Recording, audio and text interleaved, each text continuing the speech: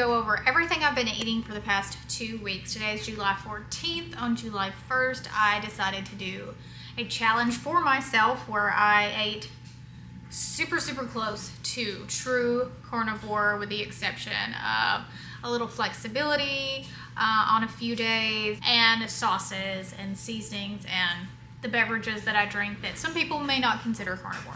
Let, but like I said, this was a personal challenge and I'm doing this because I was allowing things to sneak back into my way of eating that maybe shouldn't be there and it just was a good reset. It's time to reset. So I documented every day for like four days and then I couldn't keep up with that. But I have been trying to at least take pictures of things or videos of what I have been eating so I can talk about it. The first thing, chicken fries and the chicken fritters, which I'll have those videos up on my shorts tab. I'll link those. I'll try to find the recipes and post those in the description too if you're interested in the chicken fries and the chicken fritters. I preferred the chicken fritters. So the difference is I used ground chicken instead of canned chicken and I dipped them in the ground up chicken breast that is the chicken flour from Carnivore Crisp. I have a discount code, I'll put it in the description.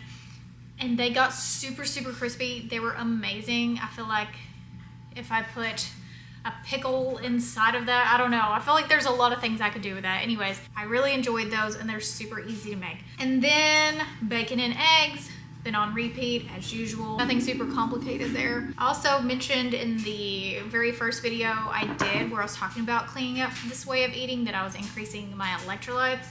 I'm kind of Kind of slacked on that actually and I probably need to increase them because I had a cramp in my foot last night. So I need to really get serious about it. These are the electrolytes that I use. They're from LMNT 1,000 milligrams of sodium, 200 milligrams of potassium, 60 milligrams of magnesium, no sugar, good clean ingredients, lots of different flavors. I, I pretty much stick to the orange and the watermelon these days. I also do the chocolate salt in my coffee sometimes. I love how many flavors there are to pick from. So I try to, I'm going to try to get more electrolytes in my day today because like I said, I had a cramp. As usual, LMNT will send you a free sample pack with eight different flavors to try. Pick your favorite. Um, that's free with purchase if you go to the link on the screen or the link in the description and LMNT will hook you up. Thanks again to LMNT for sponsoring today's video. Okay, after the chicken fritters and the chicken fries, I, I kind of ate that like three or four days in a row to be honest. They were super easy to make. The kids liked them too. I liked them. And I had some homemade ranch, which I will link that recipe in the description for you guys as well because I get asked that all the time. It's not mine. It's Melissa's, but it's the best ranch dressing on the face of the planet. Hands down. You cannot tell me it's not once you try it. Then I, what did I eat after that? Cheeseburgers have been on repeat as usual. That's nothing new. I love cheeseburgers and ground beef. So also with the ground beef, um, the ground beef that I have, I get from our local butcher. It has organ meat ground up into it, so it's super nutrient dense. And then I made my meatloaf, but I left out, I didn't chop up fresh onions and I didn't do bell peppers in it, which sometimes I do, sometimes I don't. Um, so it was just ground beef, garlic powder, salt, and oh yeah, yeah, uh, pork panko. And I added extra eggs. I think normally I put two eggs and this time I put four eggs. So it was even more like robust. Robust? It was good. Really good. I also put a little sugar-free ketchup on top of mine. I'm eating a little bit more strict, I'm, but I'm I'm still allowing for my favorite sauces. So sugar-free ketchup on my meatloaf and I made a huge batch so I ate on that for several days too. Also I had salmon, which if you watch that reel or short, I, I said in that I don't really like salmon. I never have for as long as I have been alive on this planet. I've never liked salmon. I tried it when we were in Texas, again, for the first time in years, and I actually liked it. So when we got home, I bought some wild caught sockeye salmon and I baked it in the oven with some garlic butter and salt and pepper on top. And it was really good. I dipped it in garlic butter also, and I enjoyed it much more dipped in the garlic butter. So highly recommend making extra garlic butter to dip it in. Uh, deviled eggs for 4th of July, I made fresh deviled eggs, hot dogs um, that I made my own slaw and had slaw dogs. Um, I don't have that recipe because I just basically threw stuff in there. It wasn't, I didn't measure it. I didn't go by somebody else's recipe. I just threw ingredients in. So I used the pre-shredded cabbage from the, uh, from the Walmart. Chosen mayo, which you can make your own mayo with butter or bacon fat if you're wanting to have a truly carnivore mayonnaise but I just didn't have time for that that day. So I used my chosen mayo, which I really love. And so I had deviled eggs and hot dogs, slaw dogs, and cheeseburgers. That day, no buns, obviously. I, I forget that maybe some people don't know that, but it's always no bun. Oh, shrimp scampi, I made shrimp scampi. I just got the um, pre-cooked shrimp from Walmart and then I flash fry them in garlic butter and then pour more garlic butter on top of them and I eat a lot of shrimp.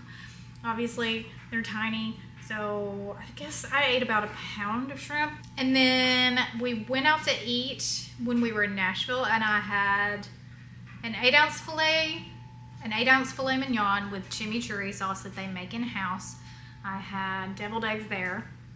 I had some salmon and then that night at dinner, I had sea bass with a truffle uh, cream sauce on top, beef carpaccio, sashimi, yellowfin tuna and ahi tuna, and a few bites of Ken's steak, which was, my God, so good. And then the next day, we ate at the Nordstrom Grill, and I had French onion soup, no bread, and oh, a chicken Cobb salad. So I, I had a lot more veg veggies on that particular day. And then that night, I got at Cheesecake Factory steak Diane, which is a steak with mushrooms and onions. I'm sure there's probably a little sugar in that sauce, but I was gonna let it go. And then I also had their shrimp scampi, and it was really good. Um, but I'm, I'm pretty sure there was something in that sauce. And I haven't had steak Diane in so long I couldn't remember how sweet it was. It wasn't super sweet, but I'm pretty sure there was sugar in there. It was Bonnie's birthday, so we're gonna let it go. And then the next day we ate at a brunch place and I got eggs benedict and I just added bacon and sausage. And that's it up until we got home yesterday and I made this, oh yeah, groundbreaking recipe that happened on accident. You have to try this. I cannot tell you how to make it right now, but I'm going to make a how to make it recipe dedicated video because it's that good. Uh, I took ground chicken, cooked the crap out of it, drained off all of the juice, then fried it in my frying pan, same pan, with a little bit of bacon fat. Fried it till it was there was like no moisture left in there. Then I added cumin, garlic powder, coconut aminos, just a smidge, and fried egg up in it. fried an egg in there as well, mixed that up. Then I added some slaw that I had left over from the 4th of July and cooked it down just, just a little bit. The slaw was still really crunchy.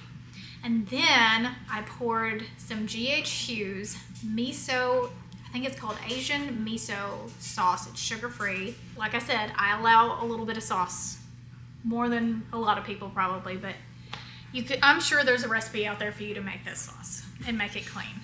But I used the GH G Hughes and it was fine. It didn't seem to give me too too much of an issue. That the way I cooked that ground chicken tasted. It made it taste just like hibachi chicken fried rice and I've eaten that like four or five times because I keep making it to, to get the recipe so I can write it down for you guys because the first time I made it, like I said, it was total accident. I thought it would turn out okay, but I didn't know it was going to turn out that good. So I'm going to try to do a tutorial video for you guys and maybe actually a blog post for those of you who like to print out recipes. Now listen, I'm not a cook. I'm not a chef. I'm not a not a cookbook author. So just go easy on me when it comes to writing down recipes and telling people how to cook things. I think a demonstration video is going to be the best way to go. It's very quick and easy. Also, it doesn't take much time. And it's just good. It's very good. So that pretty much covers everything that I've been eating for the past two weeks. I don't think I've missed anything. If there are links to recipes, I will put those in the description. Otherwise, thanks for watching. Hit the thumb on the way out and subscribe if you haven't already, and I'll see you in the next one. Love you, mean it. Bye.